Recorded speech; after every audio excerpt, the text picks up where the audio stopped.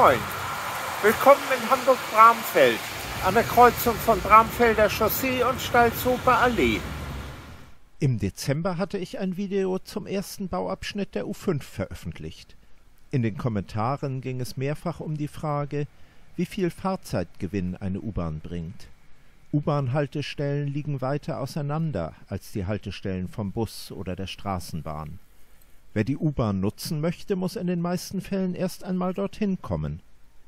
Die Reisegeschwindigkeit der U-Bahn ist höher als die des Oberflächenverkehrs, also von Bus oder Straßenbahn. Dafür geht Zeit verloren, weil man bei vielen Fahrten mit der U-Bahn umsteigen muss, denn die Haltestellen liegen eben nicht dort, wo man startet oder ankommt. Im Bild seht ihr gerade ein extremes Beispiel, den Umstieg vom Bus zur tiefliegenden U-Bahn an den Messehallen. Wie viel macht es aber bei einer typischen Fahrt aus? Darum geht es in diesem Video.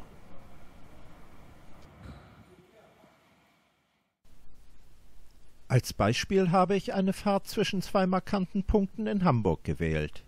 Start ist die große Kreuzung von Bramfelder Chaussee und Stalzhofer Allee. Hier fahren viele Buslinien, aber keine U-Bahn. Ziel soll die U-Bahn Hagenbecks Tierpark sein. Die Auskunft des HVV, des Hamburger Verkehrsverbunds, bietet uns als erstes die Fahrt mit dem Bus 18 und dann weiter mit der U-Bahn an. Dafür werden 39 Minuten angegeben. In Barmbek sind nur zwei Minuten vorgesehen, um vom Bus zur U-Bahn umzusteigen. Das ist sehr optimistisch. Es kann klappen. Wenn aber Gedränge auf den Treppen herrscht oder wenn der Bus auf der Bramfelder Chaussee im Stau steht, sieht man die U-Bahn nur noch davonfahren. Die nächste Bahn kommt meist fünf Minuten später. Hat man die U-Bahn erreicht, so ist die weitere Fahrt unproblematisch. 13 Minuten dauert es bis Schlump. Dort liegt der Bahnsteig der U2 eine Treppe tiefer.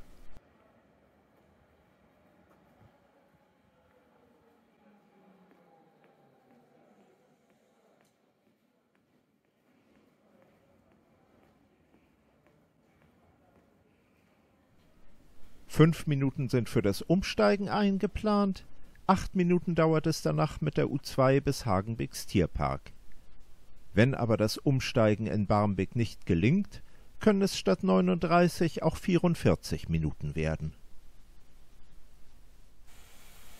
Sicherer ist es, mit Bus 8 bis zur U-Bahn Wandsbek-Gartenstadt zu fahren. Die Fahrzeit beträgt sieben Minuten und dort sind sechs Minuten vorgesehen, um in die U3 umzusteigen. Für den Abschnitt mit der U-Bahn empfiehlt die Auskunft eine andere Strecke, nämlich über Berliner Tor. Bis dorthin braucht die U3 15 Minuten. Es besteht Anschluss am gleichen Bahnsteig direkt gegenüber. Beide Züge kommen praktisch gleichzeitig an. Das klappt fast immer hervorragend.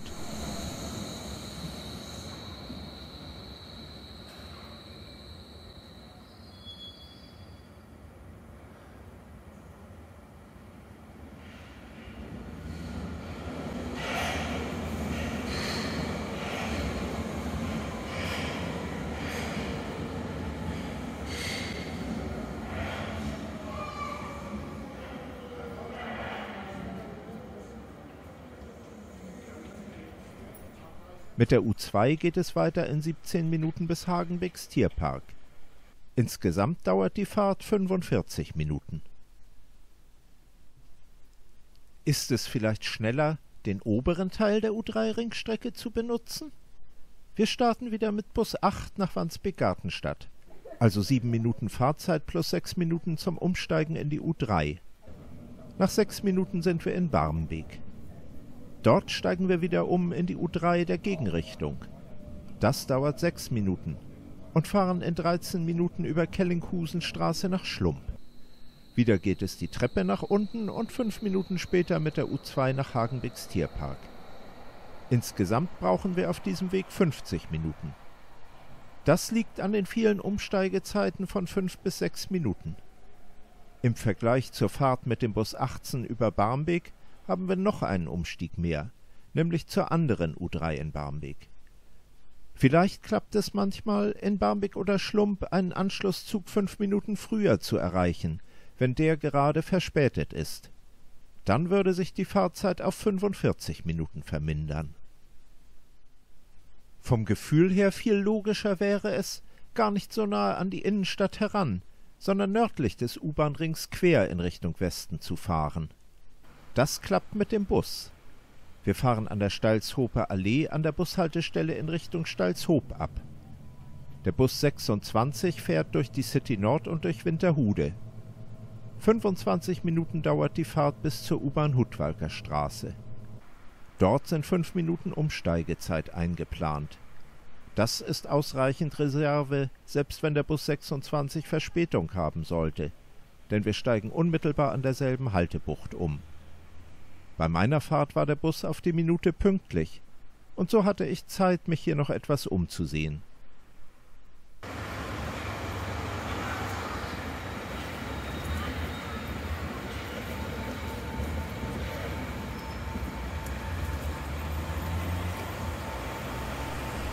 Anschließend geht es mit dem Expressbus X22 in 16 Minuten direkt nach Hagenbecks Tierpark.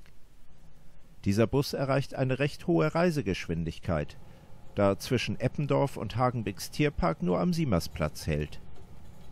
Die Verbindung mit dem Bus dauert also 45 bis 46 Minuten.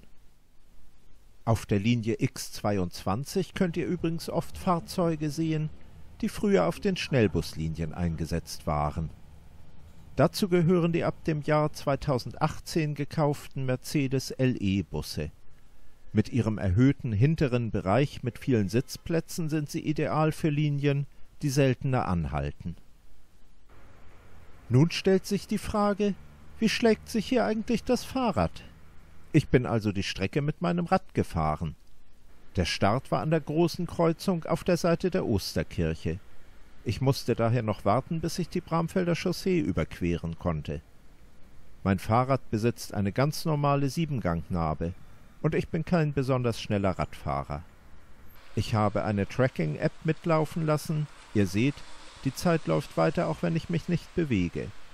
Wir erhalten somit die echte Reisegeschwindigkeit. An Stalzhoop vorbei geht es zur City Nord, weiter durch Eppendorf und über den Siemersplatz. Nach 43 Minuten, genau gesagt nach 43 Minuten und 24 Sekunden, stoppe ich die Aufzeichnung an der U-Bahn Hagenbecks Tierpark. Aber ich musste ja zuerst das Telefon aus der Tasche holen, den Bildschirm entsperren und so weiter. Warum kommt man hier mit dem Fahrrad so gut durch? Ich bin eine direktere Strecke gefahren als der Bus. Ich habe den Umweg durch Stalzhoop ausgelassen und bin auch auf geradem Weg durch Eppendorf gefahren. Außerdem muss ich mit dem Fahrrad nicht an Haltestellen halten. Allerdings kommt es oft zu Halten an Ampeln, da die Ampelschaltungen für den Autoverkehr optimiert sind, nicht für das Fahrrad. Die Route war laut App 10,1 Kilometer lang. Meine Reisegeschwindigkeit betrug, alle Ampelstopps einbezogen, ziemlich genau 14 Kilometer pro Stunde. Am langsamsten war ich auf dem dritten Kilometer mit 11,8 Kilometer pro Stunde. Dort hatte ich viele Ampelstopps im Bereich Stalzhoop und City Nord. Trotzdem dauert die Fahrt ungefähr genauso lange wie mit den öffentlichen Verkehrsmitteln. Falls euer Ziel der Tierpark ist, habt ihr mit dem Fahrrad noch einen weiteren Vorteil. Ihr könnt in einer Minute direkt bis zum Eingang fahren. Dort gibt es viele Fahrradständer. Zu Fuß dauert der Weg drei Minuten. Mit dem Rad entfällt außerdem am Startpunkt der Fußweg zur Bushaltestelle. Falls ihr kein eigenes Fahrrad besitzt, könnt ihr ein Stadtrad benutzen. Es gibt am Bramfelder Marktplatz und an der U-Bahn Hagenbecks Tierpark je eine Stadtradstation. Mit einem Elektro-Tretroller seid ihr etwa genauso schnell, allerdings ist die Miete deutlich teurer als bei Stadtrad. Natürlich gibt es auch Menschen, für die beides aus körperlichen Gründen nicht in Frage kommt. Das ist mir durchaus bewusst. Nun bleibt noch die spannende Frage, wird es in einigen Jahren vielleicht schneller gehen, wenn einmal die geplante U-Bahn-Linie U5 fertiggestellt ist? Bisher geht die Hochbahn für die U5 von 18 Minuten Fahrzeit zwischen Bramfeld-Dorfplatz und Hauptbahnhof aus. Die Planung der Gesamtstrecke ist Anfang 2022 als dieses Video entstand, noch nicht abgeschlossen. Daher ist es Spekulation, weitere Zeiten abzuschätzen. Es könnte aber sein, dass die reine Fahrzeit von Bramfeld bis Hagenbecks Tierpark mit der U5 32 Minuten betragen wird. Von der Stalzhoper Allee müssen wir mit einem Bus nach Bramfeld-Dorfplatz fahren, was circa drei Minuten dauert. Dort dürften es fünf Minuten Umsteigezeit sein, weil der Bahnsteig der U5 ziemlich tief liegen wird und weil der Zug ja auch nicht immer sofort abfährt. Die U5 wird vielleicht tagsüber meist im Fünf-Minuten-Takt fahren und in den Hauptverkehrszeiten vielleicht öfter. Insgesamt sind wir dann bei 40 Minuten Fahrzeit. Das liegt daran, dass die U5 ebenfalls einen großen Bogen ganz durch die Innenstadt fährt.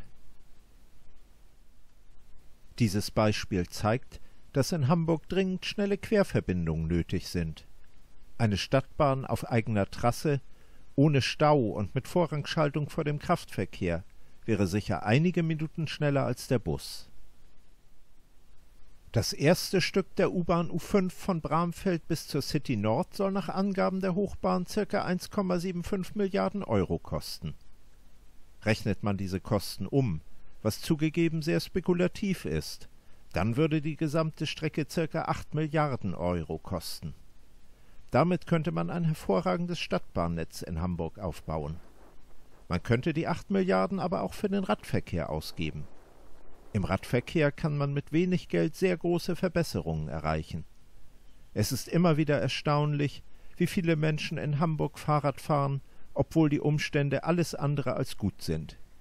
Mit acht Milliarden Euro könnte man eine traumhafte Infrastruktur für den Radverkehr bauen, und Hamburg würde wahrscheinlich die Top-Fahrradstadt auf der Welt werden. Leider sind wir weit davon entfernt. Damit sage ich für heute Tschüss und bis zum nächsten Mal.